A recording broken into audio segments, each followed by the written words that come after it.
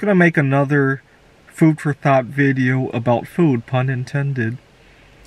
So, when I was 16 years old, I started cleaning up my diet, and one of the first items that I quit from my diet was a soda. I used to drink a lot of soda, two, three, four liters a day, and my parents were very upset about it, and they asked me to cut back. And I realized it was very difficult. They would make me go two, three days without soda. I would drink one soda, and it, it was like I couldn't stop. I needed five or six sodas after I had that one. And I had a situation in my life where I really wanted to uh, to, to to not drink so much soda, and I decided the best way to do it was to quit altogether. And then my parents gave me a lot of flack over the idea that an occasional soda isn't going to kill you. Yes, it won't. The problem is that I can't stop at that one, and I told my parents straight up, I know one won't kill me. I, I can't stop at that one. And then my parents pointed out that I had a control problem. I, I needed to control myself.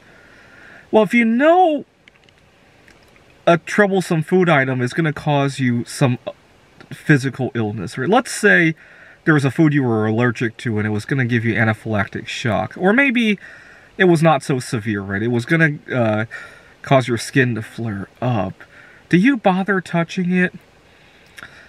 The idea that a food could cause you to um, lose control of um, your uh, eating habits, um, I, I, treat that like it were a physical disorder, right? Uh, uh, the idea that one's going to lead to even more, that's, that's just as uh, much a, a, a, symptom as an allergy or, uh, or something that you're incompatible with, or even something that you dislike, right?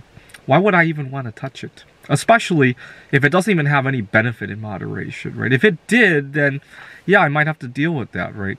If we're talking about, uh, well, I, I guess one uh, good example is if you need painkillers for some reason, right? And there are some people who are going to have trouble quitting the painkiller. You you got to weigh the risks and the benefits there, right?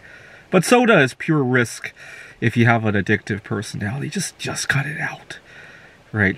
And but people always give me that problem. I still run into that a lot, right? If I'm if I'm close to somebody and I can tell them why I uh, refuse certain things. Right? People always tell me one bite's not going to kill you.